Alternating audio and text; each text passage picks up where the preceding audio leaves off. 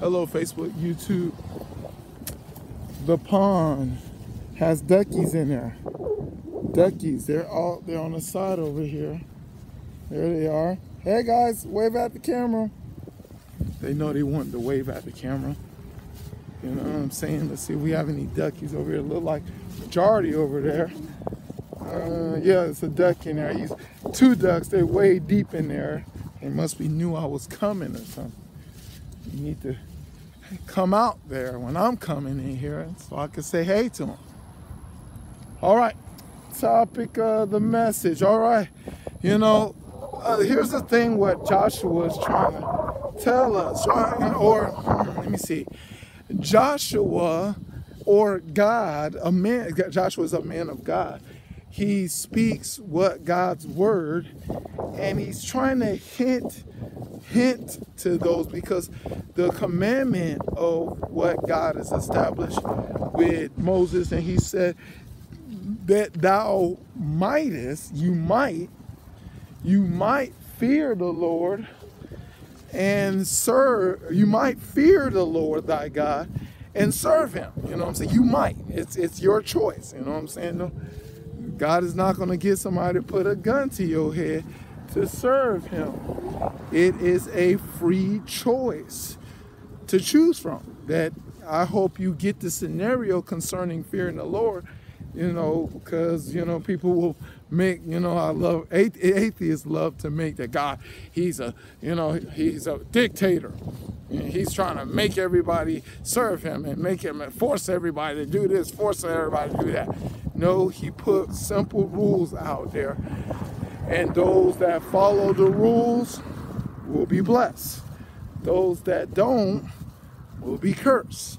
That's how the simple idea aspect of the situation of life is created by, you know. But that's another message. But uh, but you know, Paul, uh, Joshua talks about that he, he said God is a holy God and God is a jealous God. Oh, God is a jealous God. You know what I'm saying? Now, here's the thing. See, what I learned about, you know, having a true relationship with God is to understand the ideal aspect of a relationship. See, in a relationship, the objective of executing it and that it works out between one another is to understand the other person. It's both parties have to understand work they have to learn well they have to learn to work on understanding the other person.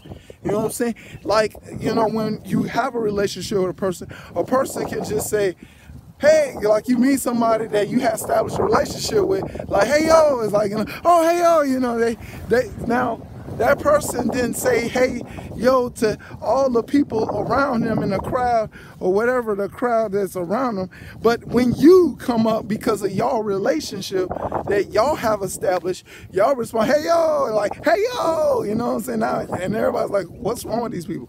No, they have a relationship and that's how they communicate and they respond to each other that way and they have a better understanding of the other person.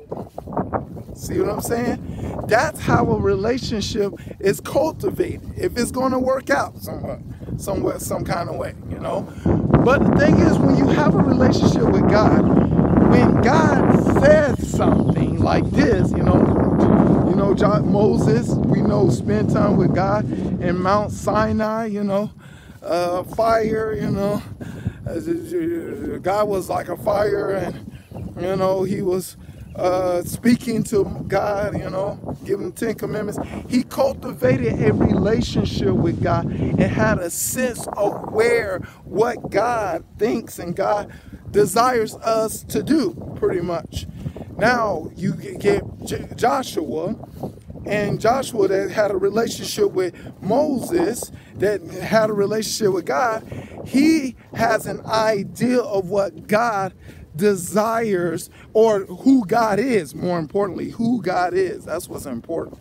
And now uh, he gets, tells the people that God is a jealous God. You know what I'm saying? and he just laid it out about the gods and that he doesn't like gods and goddesses. But when it says gods, it means gods and goddesses too. Just like the ideal name when you see man, man means man and woman because in the kingdom of God, you know, God sees man and sees a woman as the rib. You know what I'm saying? That man and woman is a part of each other. So when you say man, you refer to woman too. Hope you get that.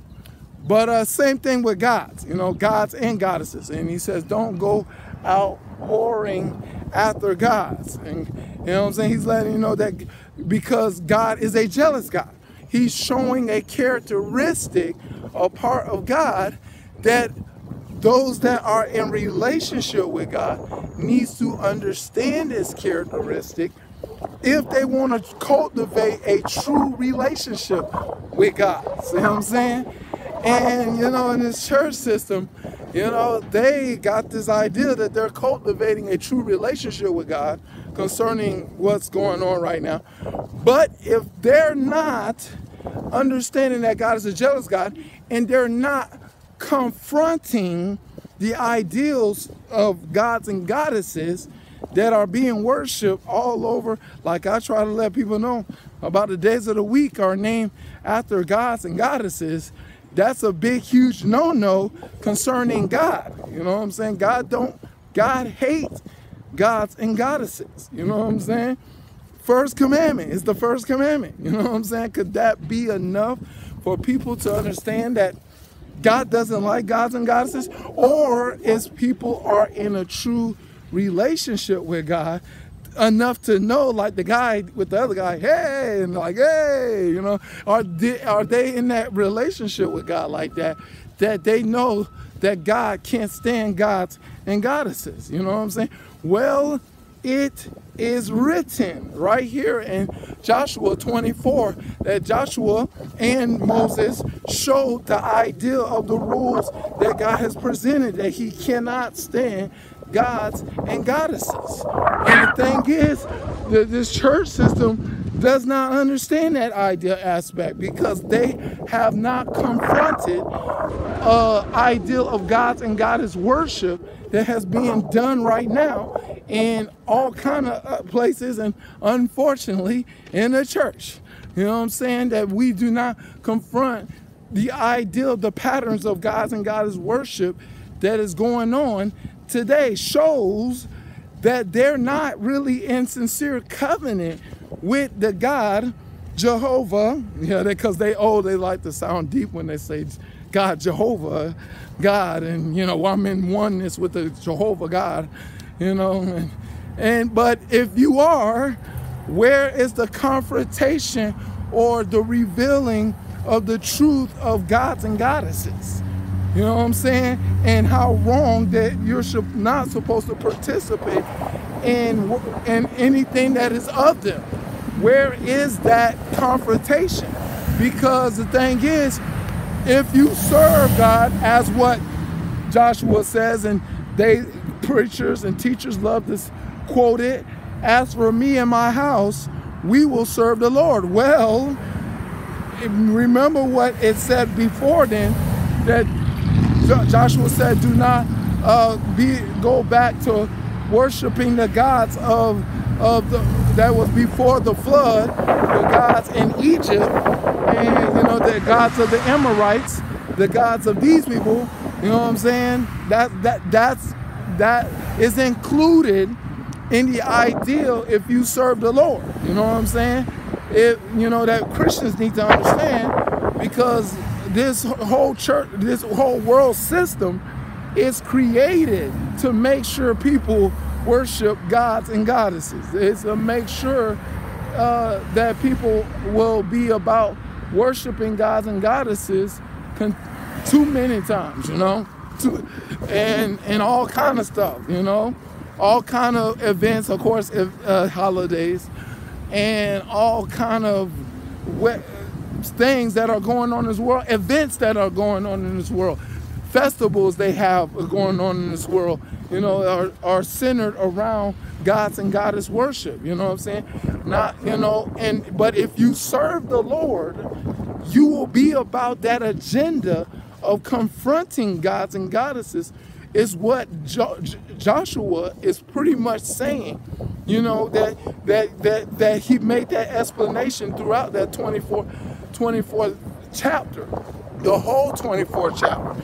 That, you know, people say if they serve the Lord, they need to be calling out these gods and goddesses. They need to be calling them out and saying that this is wrong and we need to be about following, well, actually serving the Lord, you know.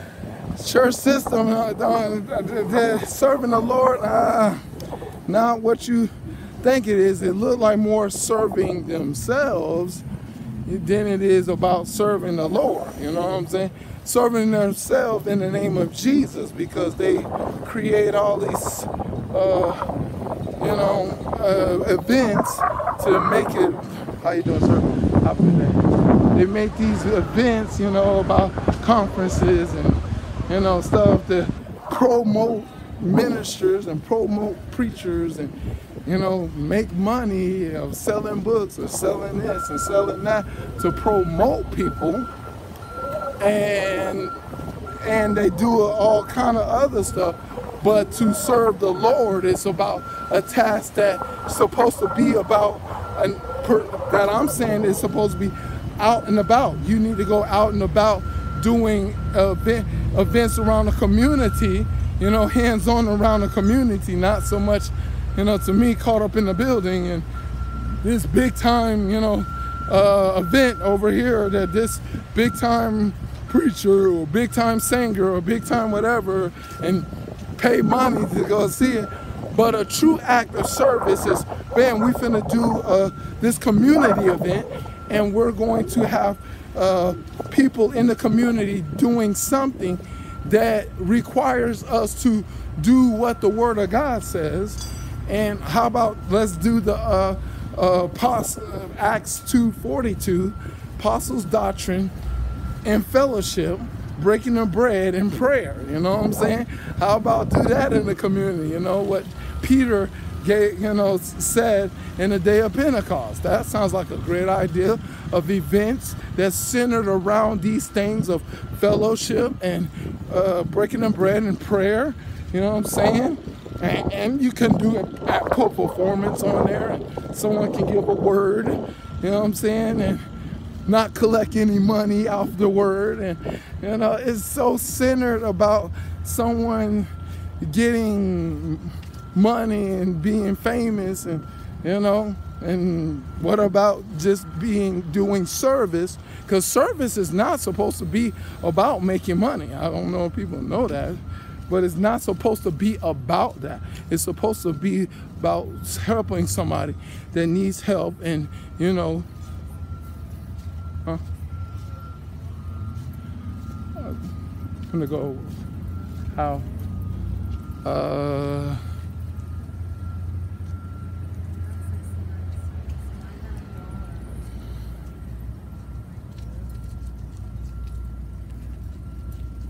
Here you go, man. Have a good day.